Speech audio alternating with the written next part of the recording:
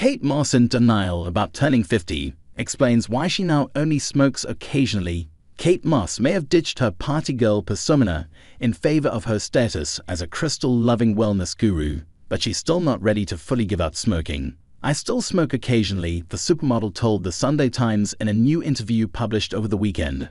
I heard that when you stop, you can really tell by your skin, but I haven't stopped yet.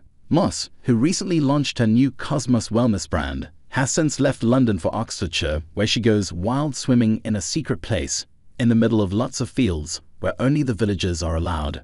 With her hard partying days behind her, Moss also admitted to the outlet that she's in denial about her upcoming 50th birthday in January 2024. I've heard that when you stop, you can really tell by your skin, but I haven't stopped yet, she admitted. Splash News. I'm not turning 50, she joked. No, I'm not thinking about it. I do not feel 50. Moss also offered no comment when asked whether she has undergone any treatments like filler or Botox to prevent the appearance of aging, are natural.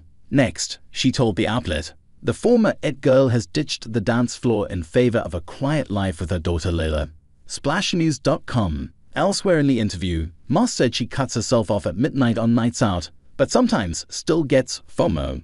I'm not really into it. I do get FOMO, fear of missing out. Sometimes, like, Oh, I wish I'd gone to that or was hanging out with everybody, she explained.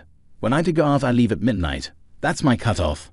I've seen everyone. Everyone's talked sense. After that time, people start repeating themselves. So then I go home. The Cosmoss founder was an infamous party girl in her younger years. WireImage? Moss life now involves practices like Ashtanga yoga, reciting affirmations, and cooking for her daughter Lila. The 20 year old, who she shares with ex Jefferson Hack, is already following in her mom's footsteps with a burgeoning modeling career. The mother of one said she now spends her time doing yoga, reciting affirmations, and cooking for her daughter. Dave Bennett slash Getty Images for Cosmoss. It's so funny because I copy her outfits consistently. Lila told Vogue earlier this year, revealing that she's inherited several comfortable items from Kate's closet. I can't steal her shoes, which is devastating. She's a size 6, I'm a size 5, and it's one of my biggest regrets. Lila also scored her own Calvin Klein campaign in 2022, 30 years after Kate's infamous CK ads alongside Mark Wahlberg.